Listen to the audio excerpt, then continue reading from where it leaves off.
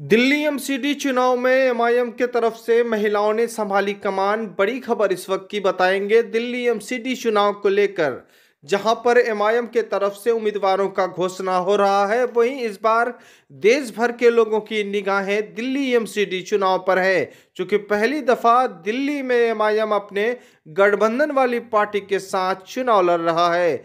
दिल्ली में सौ सीटों पर चुनाव लड़ रहा है। आपको बता दें कि अड़सठ सीटों पर जो है एमआईएम और उसके सहयोगी दल आज़ाद समाज पार्टी बत्तीस सीटों पर चुनाव लड़ रहा है। देखना यह है कि दिल्ली के नतीजे क्या आएँगे, लेकिन फ़िलहाल बता दें आपको, दिल्ली में चुनावी माहौल गर्म है। एमआईएम के तरफ़ से महिलाएँ बड़ी तादाद में एमआईएम के तरफ़ से चुनाव प्रचार में जुटी हैं। अब देखना यह है कि जहाँ पर एमआईएम को महिलाओं का सपोर्ट मिलता है, वहाँ पर एमआईएम कामयाब होता है।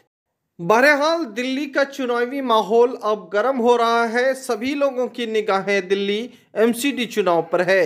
क्योंकि एमआईएम का जो है एमसीडी चुनाव से शुरुआत है और 2024 चुनाव की एक लक्ष्य माना है तो वहीं 2025 में विधानसभा चुनाव भी लड़ना है। अब देखना यह है कि दिल्ली में क्या समीकरण बन रहा है, क्या नतीजे आएँगे, लेकिन फ़िलहाल जो है एमआईएम के तरफ़ से चुनाव प्रचार ज़ोर पर चल रहा है।